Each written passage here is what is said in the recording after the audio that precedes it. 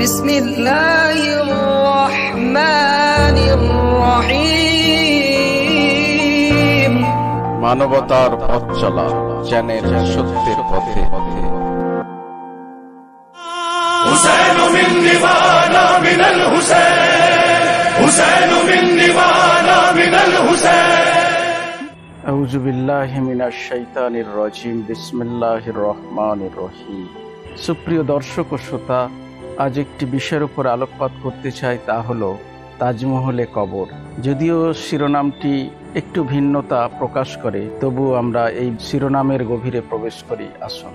কবি নজরুল ইসলাম বলেছিলেন, তাজমহলের পাথর দেখেছ দেখেছ কি তার প্রাণ? অন্তরে তার মমতাজ নারী, বাহিরে শাহজাহান। প্রথমেই বলি, তাজমহল কিন্তু ইসলামের কোনো অংশ নয়। মুঘল সম্রাট শাহজাহান তার প্রাণপ্রিয় স্ত্রী মমতাজের মৃত্যুর পর মমতাজকে স্মরণ করার জন্য এবং তার অন্তরে তাকে জীবন্ত রাখার জন্য এই তাজমহল গড়েছিলেন। এই ধরনের নির্মাণকে স্মৃতিসৌধ বলা হয়। শ্বেতপাথরের যে তাজমহলের সৌধটি, আসলে তার নিচে আছে মমতাজের কবর। কবরটির উপরে শুধু পাথরের শিল্প সম্ভার, যা একসময় পৃথিবীর সপ্তম আশ্চর্যের মধ্যে একটি আশ্চর্য হিসাবে খ্যাতি লাভ করেছিল। শুধু এতটুকু নয়, বরং কবিদের কাল্পনিক মনোবিলসতায় এই তাজমহলকে নিয়ে অনেক কবিতা, প্রবন্ধ, রচনা লিখিত পাওয়া গেছে। কাল্পনিকতার বন্যায় মুসলমান ভেসে গেছে। কবিতা লিখেছে, প্রবন্ধ লিখেছে, এমনকি ক্যালেন্ডারের পাতায় ঘরে ঘরে তাজমহলের ছবি অঙ্কন করে বা ছবি ছাপিয়ে ঘরে ঘরে পৌঁছে দিয়েছে। তাজমহলের সৌধের অনুকরণে বিভিন্ন বস্তু দিয়ে যেমন পাথর বোঞ্চ লোহা ইত্যাদি দিয়ে তাজমহল বানিয়ে বিক্রি করেছে মেলায় মেলায় বা বিভিন্ন দোকানে এবং মুসলমানদের ঘরে ঘরে পৌঁছেওছে। যদি প্রশ্ন করা হয়, তাজমহল মুসলমানদের কি দিয়েছে? যদি আরও প্রশ্ন করা হয়, কোরআনে বা হাদিসে কোথায় আছে যে ভালোবাসার নিদর্শন বা স্মৃতিসৌধ হিসাবে তাজমহলকে এতটা উচ্চ মর্যাদা দেওয়ার? সর্বজন স্বীকৃত হলো এই যে তাজমহল শুধু নিছক একটি বাদশার বিবির কবর, এছাড়া আর কিছুই নয়। এটা অবগত হয়েও কেন মুসলমান ক্যালেন্ডারে স্মৃতিসৌধ হিসাবে বা পাথরের স্মৃতিসৌধ বা বিভিন্ন জায়গায় তাজমহলকে এখনও পর্যন্ত সময়, অর্থ অপচয় করে চলেছে?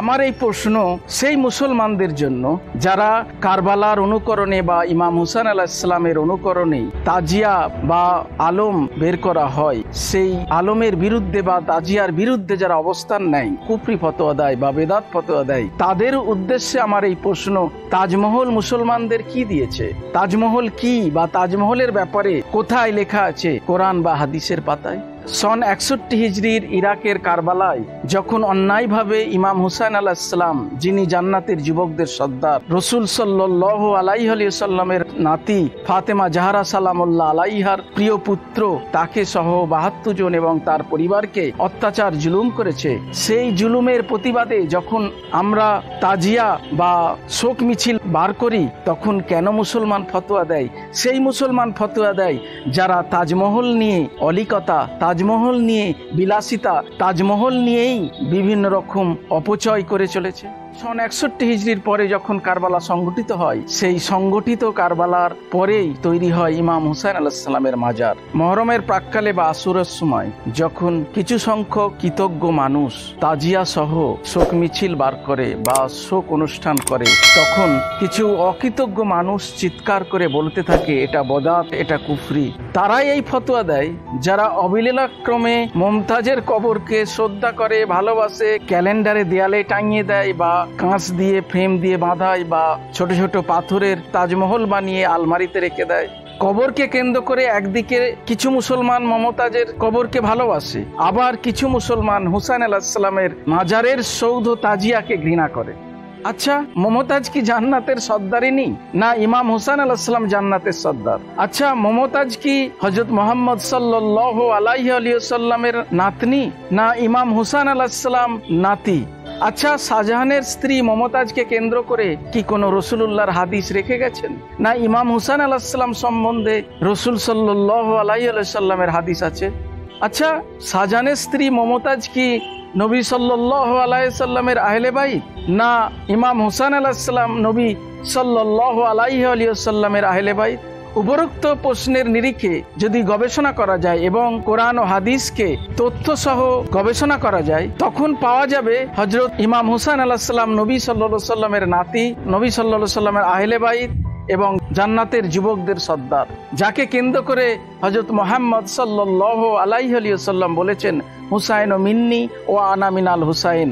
অর্থাৎ আমি হুসাইন থেকে, হুসাইন আমা থেকে। তিনি আরও বলেছেন হুসাইন জান্নাতের যুবকদের সর্দার। বোখারি মুসলিম শরীফ খুলে দেখেন।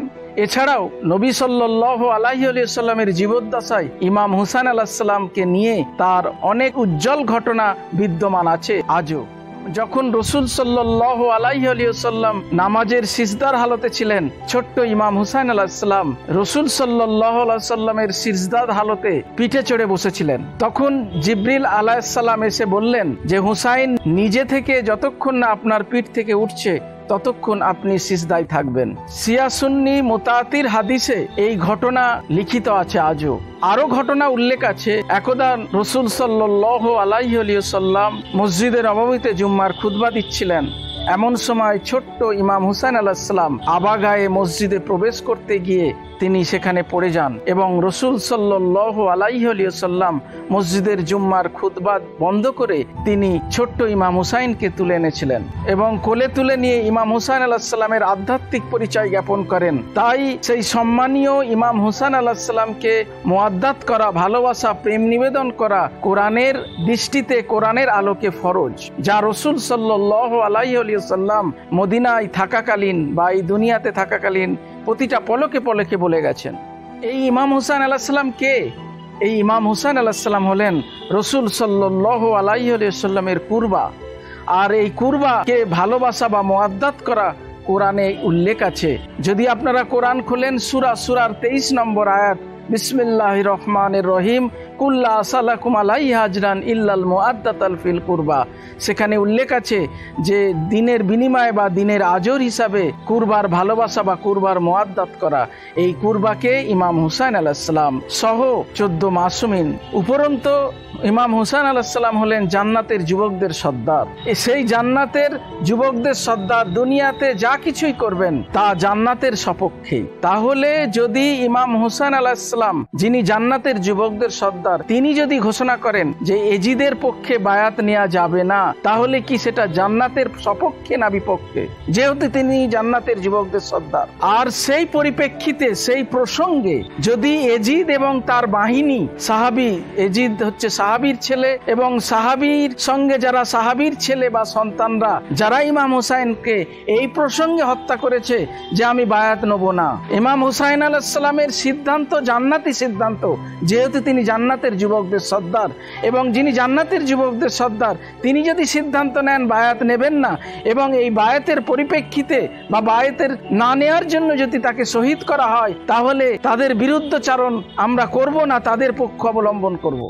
এবং আরও প্রমাণিত সত্য হলো যে সাহাবির ছেলে এবং সাহাবির আত্মীয় স্বজনরাই ইমাম হোসান আলাহিসামকে শহীদ করেছে তার হাতে বায়াত না নেওয়ার জন্য। তাহলে তার রেখে যাওয়া সিদ্ধান্তের জন্য অর্থাৎ তিনি বায়াত নেননি, এজিদকে মেনে নেননি, সাহাবিদের অন্যায় আচরণ মেনে নেননি। যে সাহাবির সন্তানরা ইমাম হুসাইনকে কারবালায় হত্যা করতে এসেছে, সেই আচরণের বিরুদ্ধে যারা তাজিয়ার মিছিল বার করে বা শোক মিছিল বার করে, তাদেরকে কি ফতোয়া দেয়া যাবে? কুফরি ফতোয়া দেয়া যাবে? আর তারাই তো ফতোয়া দেয়। যারা মমতাজের কবরের ব্যাপারে নিশ্চুপ বা মমতাজের কবরকে নিয়ে ক্যালেন্ডারে বা আলমারিতে ছোট ছোট স্মৃতিসৌধ হিসাবে মমতাজের কবরের কীর্তি হিসাবে রেখে দেয়, তারাই তো ফতোয়া দেয়।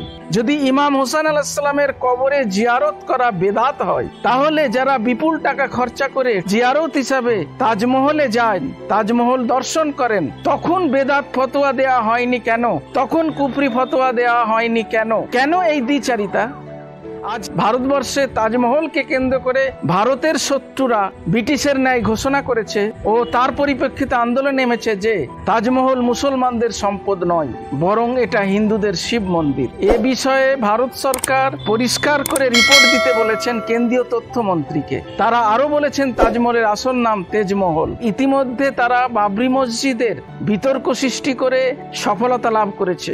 আর তাজমহলের ব্যাপারেও তারা সফলতা লাভ করতে যাচ্ছে। বাবরি বাবরি মসজিদ বা তাজমহলকে কেন্দ্র করে সৃষ্ট বিতর্কে মুসলমান সম্পূর্ণ অসফল। কারণ মুসলমানদের সকল বিষয়ে দ্বিচারিতা দেখা যাচ্ছে। কোরআনের আয়াতের ব্যাপারেও অপব্যাখ্যাকারী জ্ঞানপাপী ও অল্পবিদ্যা ভয়ঙ্করী এই জন্যই মুসলমান আজ সর্বক্ষেত্রে সর্ববিষয়ে পরাজিত ও অসফল। যদি কোরআন ও আহলে বাইতের সত্যকে বরণ করে উমাইয়া বা আব্বাসীদের রেখে যাওয়া দ্বিচারিতার বর্জন করত, আজ মুসলমান সমগ্র বিশ্বে বিজয় লাভ করত ও ইহকাল ও পরকালে কল্যাণ ও সফলতা লাভ করত। সুপ্রিয় দর্শক ও শ্রোতা, এতক্ষণ একটি অভিনব বিষয়ের উপর আলোচনা শুনছিলেন। এই আলোচনার নিরিখে আপনারা যদি কমেন্ট করেন লাইক করেন শেয়ার করেন, তাহলে আমাদের এই পরিশ্রম সার্থক হবে। অবশ্যই আমরা এই বিষয়ের উপরে কি বুঝলেন তা কমেন্ট করে জানান।